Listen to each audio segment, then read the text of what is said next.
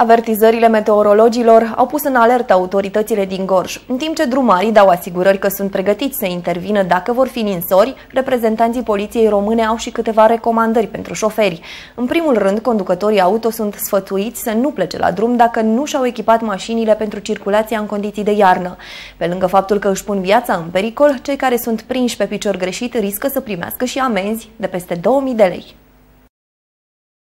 Pentru că vremea este imprevizibilă, iar instabilitatea atmosferică se poate accentua de la o oră la alta, polițiștii au câteva sfaturi importante pentru șoferi. Adaptați permanent viteza de rulare la condițiile de drum și de trafic pentru a putea frâna în condiții de siguranță, să păstrați o distanță de siguranță față de autoturismul care circulă în față, să vă interesați cu privire la condițiile de deplasare existente pe traseul pe care urmează să-l parcurgeți, să evitați acționarea bruscă a frânei și a mecanismelor de direcție în condiții de carosabil alunecos, să utilizați anvelopele de iarnă atunci când circulați pe drumurile acoperite cu zăpadă, gheață sau polei. Avertizările meteorologilor au determinat autoritățile din Gorj să ia primele măsuri pentru anotimpul rece. Comandamentul de iarnă s-a reunit deja la Rânca pentru a se vedea care este nivelul de pregătire și intervenție în cazul în care va ninge. Au venit un zbor de fulgi de, de, de, de păpăpușa, dar încă nu ninge la Rânca.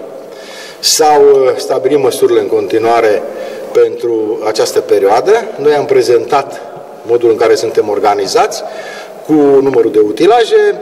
Așa cum am spus, vor fi cele trei unimoguri la Rânca închiriate. Sunt două autofreze, una rusească și una nouă, cea nouă.